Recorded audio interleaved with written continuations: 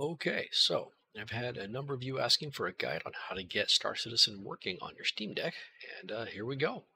I'll be going through the basics of getting Star Citizen into Steam and uh, with the correct version of Proton up and running with the fix. Uh, I will not be covering the swap file uh, modifications that you can follow the guide uh, link below as well as on your screen here.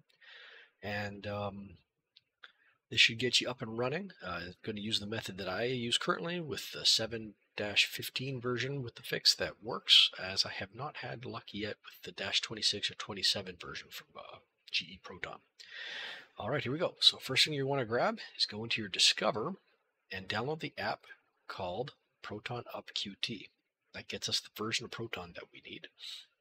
While that loads up, go ahead and browse this address. I will link into the description as well as on your screen as well. And you're going to want to get the Wine GE Proton 715 SC. So grab the tar exe file of that. Your ProtonUp-Qt is going. Make sure you're installing it for Steam. If you have something else installed that might use uh, Proton, you want to make sure Steam is the one that is selected. Do add version, pick your version, and go to 7-15 and hit install.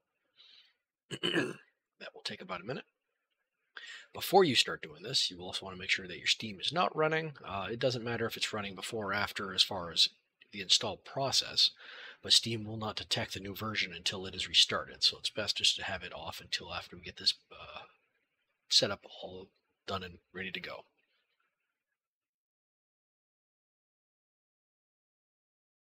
All right, so once that is finished, it should show up in your list here. It'll show itself as being unused, which you can ignore due to the fact that it's not being used by any of the actual Steam games that are uh, in Steam.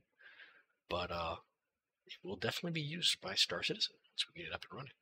So this shows that it's being done. Go ahead and close that. You're going to go, go ahead and open up your file manager, Dolphin.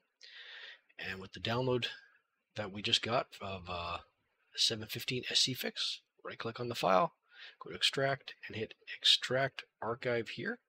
And that should make a nice folder right next door here with these four folders. You're going to want to select all four, hit cut, go to home, go to local, share, Steam, and compatibility tools.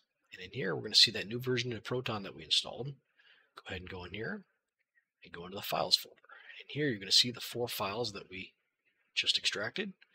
Go and hit paste, hit apply to all, and hit write into, and then apply to all, and overwrite.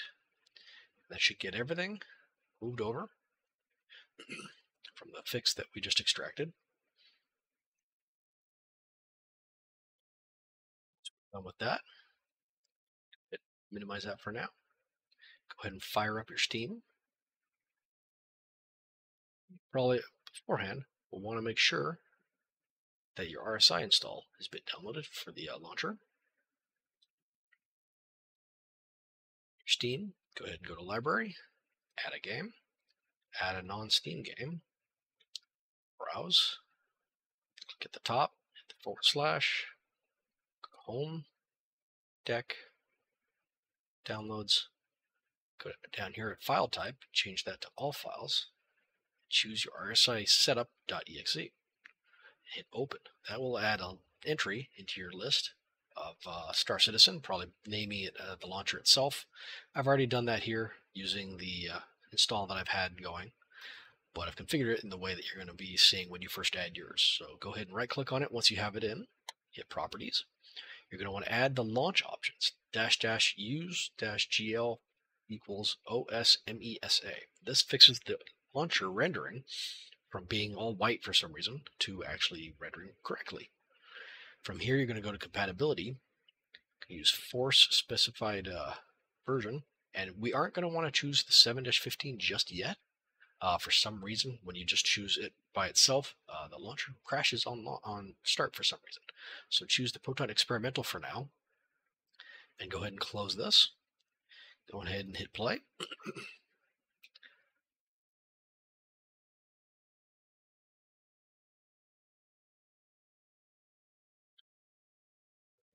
Agree. Install.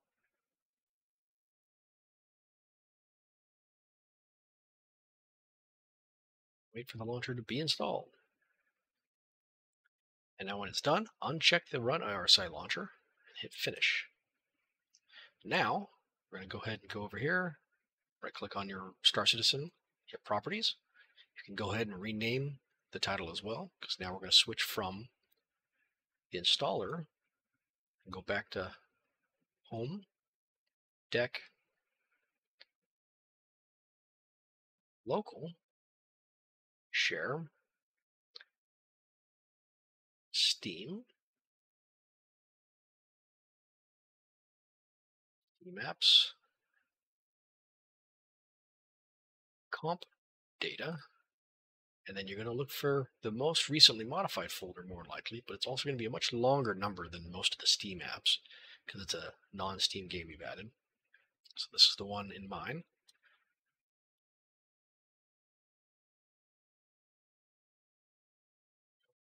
X, drive C, program files, Roberts Space Industries, RSI launcher. And from here, you're going to want to find the RSI launcher. Should set the target, make sure everything else is correct. Compatibility, leave on Proton Experimental just for the start here. Let's go ahead and close that, hit play. When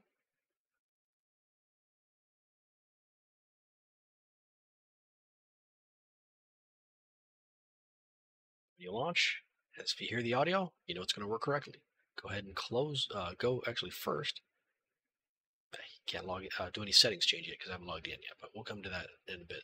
Once the audio is working, you know it works. Go ahead and close RSI. Right click on the taskbar, hit quit because uh, it just closes into the taskbar at the moment.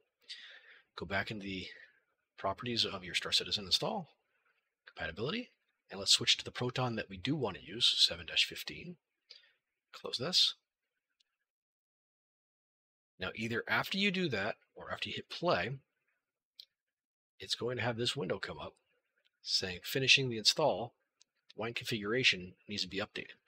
That is what you want to see to make sure everything is working correctly. Now the launcher will work with 7-15 just fine. You're going to log in. You're going to go into settings and you're going to want to do the checkbox for close launcher on exit. It makes it a little easier to get out of the launcher when you're both in desktop mode and in uh, Steam uh, OS mode. But once you're all installed here, go ahead and install the game, run it normally. Everything should work fine.